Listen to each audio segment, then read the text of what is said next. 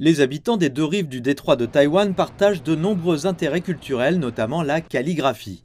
À Nanjing, dans l'est du pays, une exposition de calligraphie de part et d'autre du détroit est ouverte au public depuis le 10 août.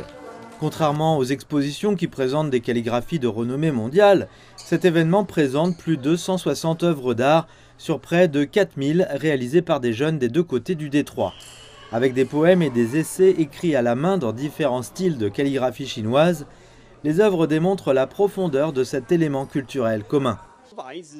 La calligraphie a toujours fait partie de la culture chinoise. Tout le monde peut y participer, jeunes et vieux.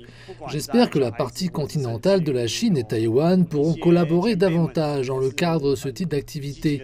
Je pense que c'est très significatif.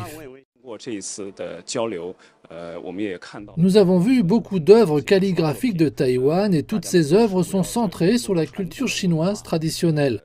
Dans beaucoup de ces œuvres, on peut voir que la culture chinoise traditionnelle est bien transmise. Dans la ville de Ya'an, dans le sud-ouest de la Chine, une exposition de films en provenance de Taïwan a été inaugurée mardi. Six films ont été projetés pour la première fois sur la partie continentale de la Chine, dont Day Off, le premier film mettant en scène l'actrice chevronnée Lucia Hoffen depuis 20 ans. Dans le cadre des efforts d'échange culturel entre les deux rives du détroit, des projections de films à thème, des séminaires cinématographiques, des promotions culturelles et touristiques sont également organisées lors du Festival du film. C'est très touchant. Je ressens l'enthousiasme des habitants de Ya'an, leur passion pour les films et leur hospitalité à l'égard de tous les Taïwanais. J'espère pouvoir capturer de beaux paysages ici pour les ramener à Taïwan et que les séquences filmées ici pourront être utilisées dans d'autres films taïwanais. Je souhaite que les échanges entre les deux rives du détroit puissent redémarrer en commençant par Ya'an.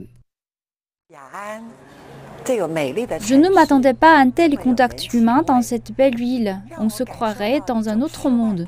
Et les pantas ont rendu l'expérience encore plus incroyable. Je reviendrai certainement à Ya'an pour une visite plus longue un jour. Depuis sa création en 2009, l'exposition de films sur le détroit est devenue une plateforme importante pour faciliter les échanges d'idées entre les deux parties, tant pour les professionnels que pour les cinéphiles. Plus de 200 films ont été projetés dans quelques 16 villes de la partie continentale de la Chine et dans une douzaine de villes de Taïwan.